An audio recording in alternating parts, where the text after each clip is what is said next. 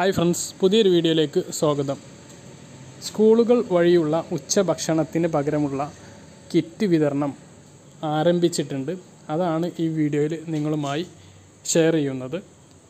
അതായത് കഴിഞ്ഞ June July August മാസങ്ങളിലെ സ്കൂൾ പ്രവൃത്തി ദിവസം അറുപത്തി രണ്ട് ദിവസമായിരുന്നു. ആ ദിവസങ്ങളിലെ ഉച്ചഭക്ഷണത്തിന് പകരമുള്ള ഭക്ഷ്യഭദ്രത ഉച്ചഭക്ഷണ കിറ്റ് വിതരണം ആരംഭിച്ചിട്ടുണ്ട്.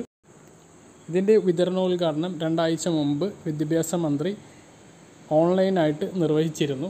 പക്ഷേ ഇതിന്റെ വിതരണം പാക്കിംഗ് നടപടികൾ പുരോഗമിക്കാത്തത് മൂലം തുടങ്ങിയിരുന്നില്ല.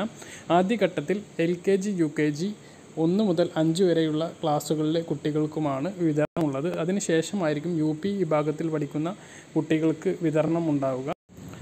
കിറ്റ് കൈപ്പറ്റാൻ വേണ്ടി കോവിഡ് പ്രോട്ടോക്കോളുകളെല്ലാം പാലിച്ച് രക്ഷിതാക്കൾ തന്നെ സ്കൂളുകളിൽ എത്തി കിറ്റ് കൈപ്പറ്റേണ്ടതാണ്. ഓരോ ക്ലാസ്സുകൾക്കും പ്രത്യേക ദിവസമായിരിക്കും കിറ്റ് വിതരണം ഉണ്ടാവുക. അതിന്റെ കാരണം കോവിഡിന്റെ പശ്ചാത്തലത്തിലുള്ള തിരക്കുകൾ ഒഴിവാക്കാൻ വേണ്ടിയിട്ടാണ്.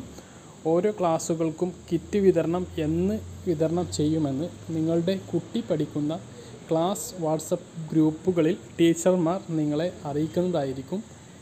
ഇപ്പോൾ അതിന്റെ മെസ്സേജുകൾ വന്നിട്ടില്ലെങ്കിൽ വരും ദിവസങ്ങളിൽ നിങ്ങളെ അത് അറിയിക്കുന്നതായിരിക്കും.